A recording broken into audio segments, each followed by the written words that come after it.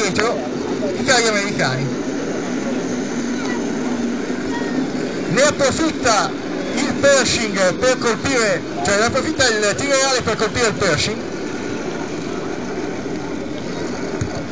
Nel frattempo gli americani sono di difesa della cittadina